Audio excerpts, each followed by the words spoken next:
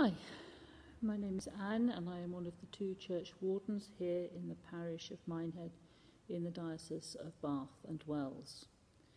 My chosen piece today are some verses from Psalm 139, verses that tell me I am never alone. O Lord, you have searched me, and you know me. You know me when I sit down and when I rise up.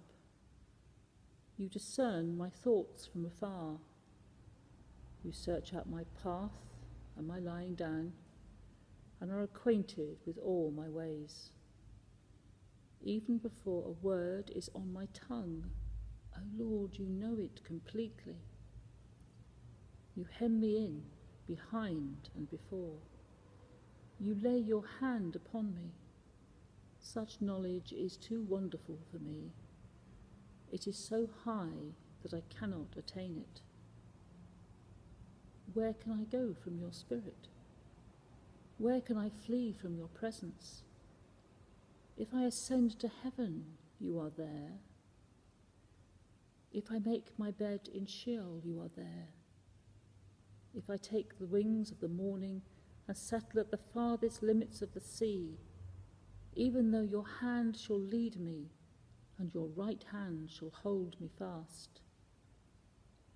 If I say, Surely the darkness shall cover me, and the light around me become night,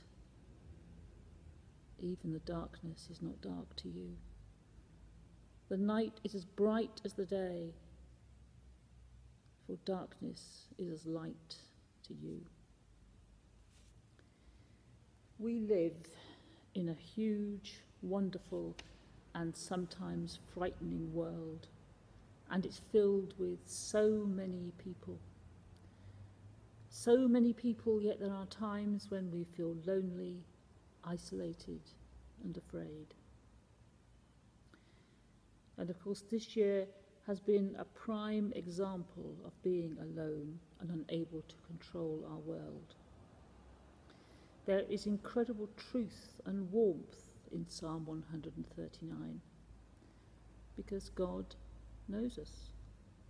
He knows each and every one of us. He knows us better and more honestly than we know ourselves.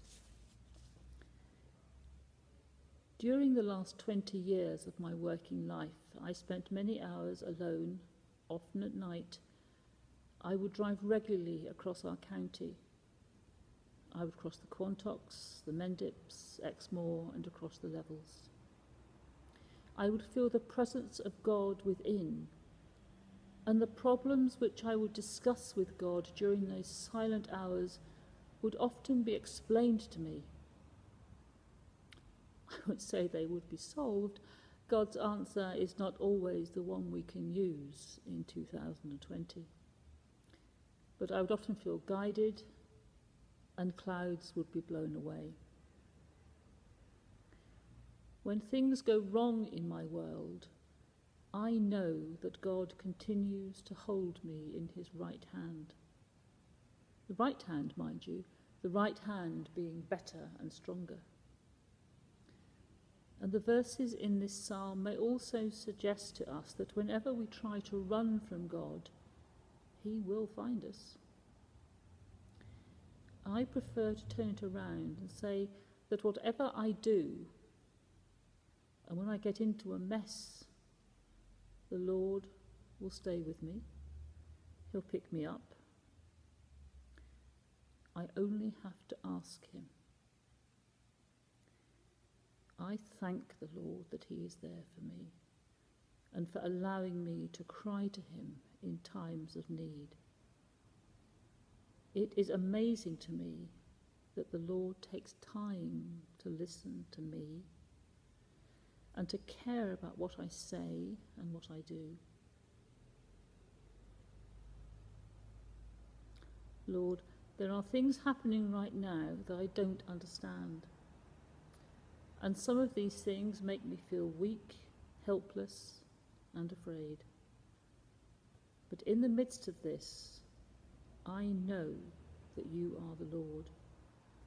I know that you have the strength in your hand, and I trust you. I feel we must remember that we are never alone. And I would like to finish with a litany. It's a Christian litany of humility.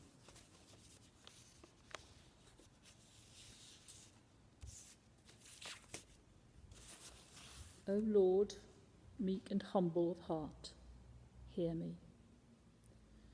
From the desire of being esteemed, deliver me. From the desire of being loved, from the desire of being extolled, from the desire of being honoured, from the desire of being praised, from the desire of being the preferred one, from the desire of being consulted, from the desire of being approved, from the fear of being humiliated. Deliver me, Lord Jesus. From the fear of being despised, from the fear of being rebuked, from the fear of reaching anger and wanting to hit back, and from the fear of being forgotten, of being ridiculed, of being wronged, from the fear of being suspected,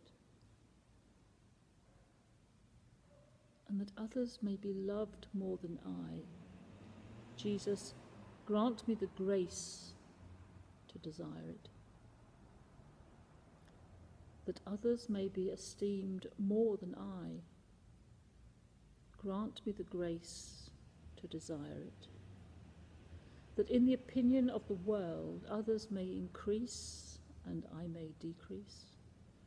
Grant me the grace to desire it that others may be chosen and I to be set aside. Grant me the grace to desire. That others may be praised and I unnoticed. Grant me the grace to desire it. That others may be preferred to me in everything. Grant me the grace to desire it.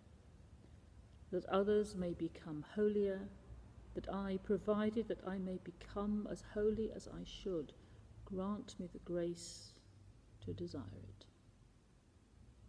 Amen.